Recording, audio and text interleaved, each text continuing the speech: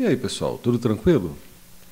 Então, esse aqui é, é um vídeo que eu espero que seja bastante rápido, porque uma coisa que me deixa muito empolgado, sério, é quando vocês é, fazem perguntas, se interessam pela, pelos scripts e tal. Isso me deixa extremamente feliz e empolgado. Eu quero fazer um vídeo sobre isso é, é rapidamente para poder responder vocês. Às vezes eu não tenho tempo, mas enfim, é, é, é, o meu primeiro impulso. Então, eu só esperei esse calor desse dia, desse domingo passar, é, reduzir um pouquinho para poder desligar o ventilador e eu também acordar, porque eu estava quase dormindo aqui na minha cadeira, e gravar esse vídeo sobre a dúvida de um dos inscritos, que inclusive estava na nossa primeira live de coding né, que a gente fez. Aí ele acabou entrando lá na nossa, no nosso grupo do Telegram. Aliás, vocês também podem entrar, se vocês não estão lá. Pega o link aí na descrição. E a questão dele era basicamente o seguinte: ele queria testar dependências. E foi algo que nós já fizemos aqui no canal, lá naquele vídeo sobre a, a, a geração de uma ISO customizada a partir do Presidio. Vocês lembram desse vídeo? É, se não viram, dá, pode dar uma olhadinha lá. Tá? Então, era basicamente o mesmo sistema. Então, eu sugeri para ele é, é, algo bem parecido com isso daqui, que foi o que nós fizemos também lá naquele vídeo. Tem uma pequena diferença aqui, mas eu vou falar sobre isso. Tá? Isso aqui foi basicamente o que eu sugeri para ele. E ele ficou em dúvida quanto à lógica, ele gostou e tal, mas ficou em dúvida quanto à lógica desse, dessa, desse trechinho de script. E é isso que eu quero mostrar para vocês e para ele principalmente, agradecendo aí o interesse principalmente. Né? Bom, então vamos lá. É, o que, que esse scriptzinho faz? Tá? É uma coisa muito simples. Uh, eu tenho alguns pacotes que eu preciso testar antes de prosseguir com o meu script, seja lá o que for acontecer dentro do restante do script. Tá certo? É, eu tenho, eu tenho que testar se o usuário tem instalados, instaladas algumas dependências. Tá? Podia ser qualquer pacote. Se vocês se lembram bem lá daquele vídeo é, sobre a, a, a, ISO customizada, é, eu tinha dois pacotes lá que cujos comandos que poderiam ser testados eram diferentes dos nomes dos pacotes onde eles vinham, tá certo? Uh, se não me engano, era o ISO hybrid, por exemplo, né, que dependia de um outro pacote, e o era o BSD. Agora eu não me lembro. É só olhar depois no, no GIST também tem e tudo mais. Uh, enfim, e apenas um último pacote, que, é, que era o Genizo Image, que correspondia ao nome real do pacote. Por isso eu fui obrigado a fazer lá naquele script, assim, na, naquela correria, e a gente sempre começa com, com, com um script um pouco mais porco, né, e depois vai limpando. É, no começo, eu utilizei inclusive duas arrays indexadas, né, que, cujos índices correspondiam aos nomes dos pacotes e os comandos assim sequencialmente. Isso não é uma boa ideia, então eu adaptei posteriormente para isso, tá? Onde então eu declaro uma array chamada deps. Essa array ela é uma array associativa. O que é uma array associativa? É, os índices são strings, está vendo? Ó? DEPs, podia ser DEPs 0, DEPs 1 e DEPs 2, mas eu coloquei a, aqui uma string para identificar cada elemento, certo? E os valores dessa, dessa, desses elementos são frutas populares, frutas cítricas, abacate, como um exemplo, tá certo? Então faz de conta aqui que eu estou procurando o comando banana, o comando laranja e o comando abacate. E para ter esses comandos à disposição no meu sistema, eu sou obrigado a instalar esses pacotes aqui, tá certo? Então, isso é uma array associativa, porque eu tenho uma string associada a um, a um valor qualquer, tá certo? Bom, eu também precisei criar uma outra, uma outra array, podia ser uma string normal aqui, mas é, é preferível trabalhar com arrays para evitar coisas de, do tipo concatenação com espaços e quebra de linha e tudo mais, porque isso aqui já sai direto quando a gente trabalha com arrays. Esse A minúsculo aqui já está falando de um outro tipo de array, a array indexada. Ou seja, uma array indexada, é, dependendo da ordem que chegam lá os elementos, é, elas já são, eles já são é, numerados de zero, a partir de zero até, enfim, a quantidade de elementos. Tá? Então eu, tô, eu estou apenas iniciando essa array chamada missing, faltando, né? Para a gente ter ela à disposição quando for fazer os testes desses pacotes. Tá certo? Muito bem. Então, eu utilizei um comando for, uh, atribuindo a variável d a cada passada aqui no for, né? a cada loop, uh, atribuindo a, a, variável d o que? essa exclamaçãozinha aqui dentro, antes do nome da array, significa o quê? Índice, né? O índice da variável deps. Então, no primeiro, na primeira passada, o valor de D vai ser banana, o, depois o valor vai ser laranja e depois vai ser abacate. Se fosse uma array é, indexada, seria, a primeira passada seria 0, depois seria 1, um, depois seria 2. Tá certo? Então, o que, que esse for está fazendo? Ele está pegando os índices de, de, da, de todos os elementos da array deps e está passando um por um para variável d. Tá certo? E, e, em cada passada, já tendo definido a, a variável d, o que, que vai ser essa variável d em cada uma dessas passadas? Vai ser o nome do comando que está sendo testado. Então, aqui, por exemplo, na primeira passada seria banana, na segunda passada seria laranja e na terceira passada seria abacate. Tá certo? É isso que está sendo testado com quem? O command menos V minúsculo. Tá? Vocês lembram, é, é, não sei se vocês lembram, mas tem um vídeo aqui explicando só sobre o comando command. Tá? A função dele, basicamente, é executar um comando que você digita é, no, lá no terminal ou, ou, ou, manda executar através de, de um script. É, e em vez de procurar, ah, no caso de haver dois duas possibilidades de execução, esse comando command vai procurar aquela que não seja um alias ou uma função criada pelo usuário. Tá certo? Então ele vai tentar executar o, o comando original, entre aspas, tá certo? É, é essa a função do command. Certo? Só que quando a gente usa o "-v", que significa o mínimo de verbose possível, o que, que, vai acontecer? Se o comando existir, ele vai funcionar mais ou menos como type, dizendo como esse comando seria executado. Tá? Ele não vai executar, ele vai mostrar como seria executado.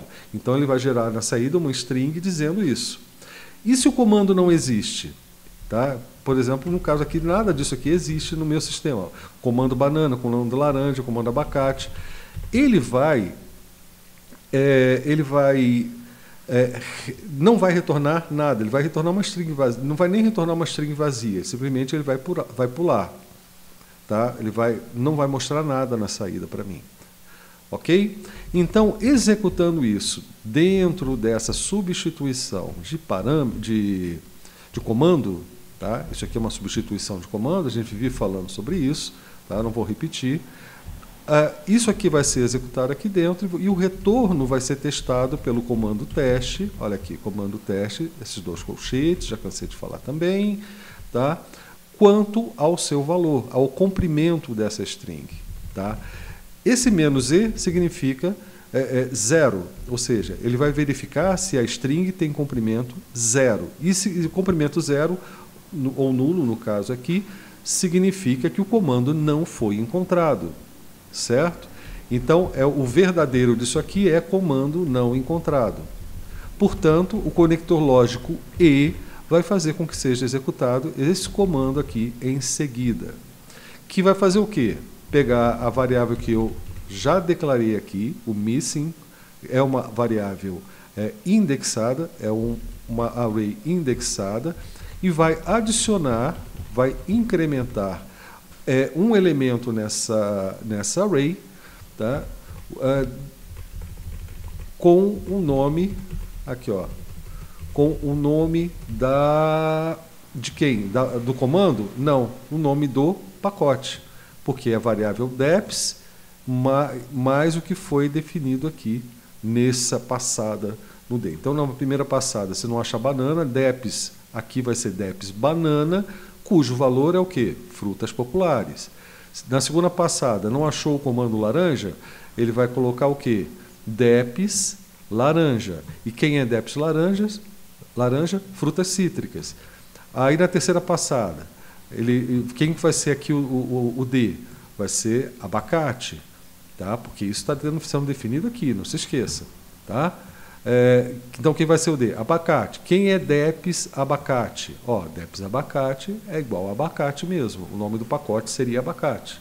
Tá certo? Com isso, então, eu vou ter uma array chamada missing com três elementos nesse caso aqui, já que nenhum dos três existe. Mas isso poderia variar de acordo com a aplicação que você está dando aí no caso do seu script e tudo mais. Ok? Muito bem a string, a string, desculpe, a, a, a, array missing já foi montada por esse processo. Ela poderia ter zero elementos, um elemento, dois elementos, n elementos, de acordo com a quantidade de pacotes testados, mas o fato é que ela já existe. Ok? Então a gente só precisa verificar agora qual é o tamanho dela, qual é a quantidade de elementos que ela tem. E para testar a quantidade de elementos de uma. Para verificar, né, para retornar a quantidade de elementos de uma array, a gente pega o nome da array, aqui a gente faz uma referência a todos os elementos, aqui, ó, isso aqui é todos, todos os elementos da array, e coloca um cifrãozinho na frente, o cifrão não, uma cerquilha na frente, que significa quantidade. Tá? Isso aqui é uma expansão de parâmetro que retorna a quantidade de elementos de uma array. Tá? Então, se eu tiver zero elementos, isso aqui vai dar zero. Tá? Se eu tiver um elemento, ou seja, uma dependência, vai dar um, e assim por diante. Mas o que me interessa é se esse número é diferente de zero, ou seja, eu só, eu só vou ter erro, na verdade, se esse número aqui, essa quantidade, for diferente de zero. Tá certo? Então, se isso for diferente de zero, por isso tem um teste aqui, NE, esse, esse NE dentro do teste significa que eu estou testando dois valores numéricos que não são iguais, é not equal, tá certo? Então, isso aqui, se for diferente de zero, é, é o caso de retornar verdadeiro, vamos dizer assim. Tá? É, e aí ele vai executar o que está no, no, no, o que está depois do conector lógico E, tá? que é isso daqui que no caso vai ser uma mensagem dizendo faltam os pacotes e aqui ele simplesmente vai retornar todos os elementos da variável missing, que foi alimentada pelos, é, pelo ciclo do for, tá certo? E depois de fazer isso, ele vai continuar executando aqui, certo? Eu quero que ele saia dando erro 1, tá? Diferente de zero, podia ser qualquer número, para dizer, olha, teve um problema, Tá? Isso é bom a gente colocar. A gente só coloca zero quando termina o script é, do jeito que a gente queria, mesmo que, que o jeito que a gente quer que o script termine com erro, tá certo? Então, aqui no caso, foi seria o script executado perfeitamente. Mas o que vai acontecer se esse teste aqui for falso? Ou seja, se for exatamente zero, ou seja, não tem nenhuma dependência. Simplesmente, se não tem nenhuma dependência, como que eu tenho aqui apenas o conector lógico E de ponta a ponta, significa que nada disso aqui vai ser executado. Então, simplesmente o script vai passar para o próximo comando, que é echo, tudo em ordem. Está entendendo? E depois vai sair com zero. Então, vamos salvar isso aqui. Eu acho que eu não mudei nada sem querer. É, não existem esses três comandos, então vamos ver o que, que vai acontecer. Ó. Ctrl S, Ctrl X, eu até já fiz ali, mas vou limpar para manter, fazer de conta que é surpresa. Vamos lá, ó, checa DEPS. Tá lá, faltam os pacotes. Banana, laranja, abacate? Não. Frutas populares, que é o nome do pacote que contém o comando banana. Frutas cítricas, que é o nome do pacote que tem abacate. E o próprio abacate, que é o comando que, o pacote que tem um comando abacate que preciso para o meu sistema funcionar, para o meu programinha funcionar. Está entendendo então a lógica da coisa? Basicamente é isso. Só que eu vou fazer mais um detalhe aqui. Ó. É, no caso dele, ficou, pelo menos pelo que ele me deu a entender, ele não precisava dessa array associativa. Por quê? Os nomes dos comandos que ele estava testando correspondiam 100% aos nomes dos pacotes onde esses comandos vinham. Então, basicamente, o que ele precisava era disso aqui. Ó. Deixa eu só comentar para não perder. Tá? Eu vou comentar para a gente poder reaproveitar esse, esse exemplo, talvez, em um outro vídeo. Tá? É, eu posso fazer aqui simplesmente o que? deps, que é o mesmo, a mesma, mesmo nome, tá? igual a? Banana, laranja, abacate. Você sabe que eu tenho por mania colocar tudo entre aspas, mas não é necessário se os nomes não tiverem espaços. Né? O, o próprio separador de campos interno aí do, do, do, do Shell vai entender que são três elementos. Tá? Com isso aqui, o que, que eu fiz? Eu criei uma, uma array indexada, onde banana é 0, laranja é 1 um, e abacate é 2. Essa aqui pode continuar onde está, porque é uma, também é uma array que vai ser criada. Eu poderia criar essa aqui de outra forma também, uh, que seria... Cadê, cadê, cadê, cadê? Aqui. Assim, ó. Poderia criar assim, ó. Missing igual a isso. Só que eu não gosto dessa notação. Eu prefiro declarar, até por uma questão de leitura. Tá? Eu prefiro fazer assim, para deixar o código mais legível. Tá? E esse declare aqui de cima também não precisa, porque a gente está trabalhando agora com DEPs é, na forma de um. Não precisa nem pode, né? porque eu estou definindo aqui uma variável indexada e aqui eu estou dizendo que DEPs antes, estou dizendo antes que DEPs é associativa e isso não pode. Tá certo? Então é um outro caso. Tá? DEPs agora é uma variável indexada, não mais associativa. Ela é igualzinha a, a missing. Ok? Uh, de novo, D é igual ao, aos índices de DEPs. Mas agora o que, que acontece? Esses índices não são mais strings, eles são o quê? Números, 0, 1 e 2. Então eu não posso testar aqui, dentro do comando V, essa variável D, porque o 0, 1 e o 2 vai ser armazenado aqui. Tá? Então eu preciso agora acessar o, o que? O conteúdo, o elemento que corresponde ao índice D. Então, no caso, seria o que eu estou procurando é, de, é DEPS de índice D. Tá certo?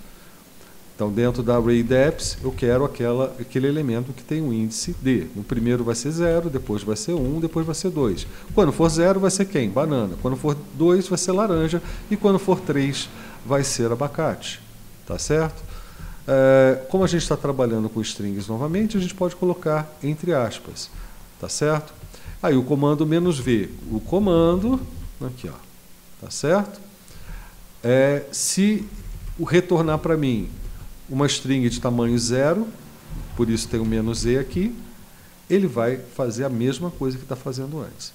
Se eu não digitei nada errado, isso aqui já é o suficiente para a gente. Ah, não, está errado aqui ainda, falta uma coisa. Ó. É... Não, não falta não. É exatamente a mesma coisa. Isso que está vindo para cá é o mesmo que está vindo para cá. Tá? É o comando e aqui também é o nome do comando. Vamos testar? Deixa eu salvar, sair, limpar, é, checa deps, mesma coisa. Só que agora voltou o nome do pacote que corresponde exatamente ao nome do comando. Então, a gente viu como fazer isso. Quando não tem diferença entre o nome do pacote e o nome do comando e quando o nome do pacote e o do comando são a mesma coisa. Então, no caso, faltam os pacotes, banana, laranja e abacate. Entenderam, então? Deixa eu voltar aqui para ficar bonito na thumb, tá certo? Então, essa é a explicação que eu gostaria de dar para vocês e principalmente para o nosso amigo lá da, do grupo do nosso grupo no, no Telegram que manifestou essa dúvida, tá certo? Então é isso, um grande abraço e até o próximo vídeo.